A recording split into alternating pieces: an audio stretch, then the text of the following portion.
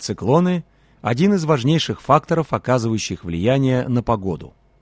Их перемещение является одним из основных признаков, указывающих на приближение атмосферных осадков.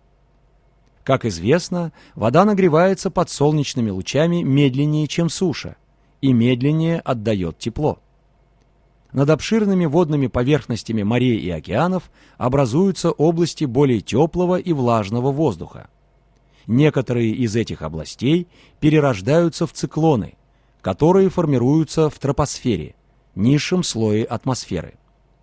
Атмосферное давление в конкретном месте зависит от влажности и температуры воздушных потоков.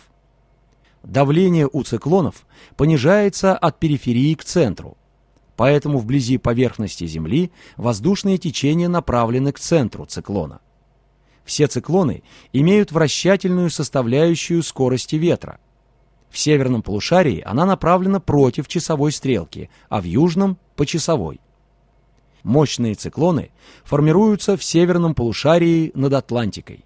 При этом образуется сильная облачность и выпадают осадки.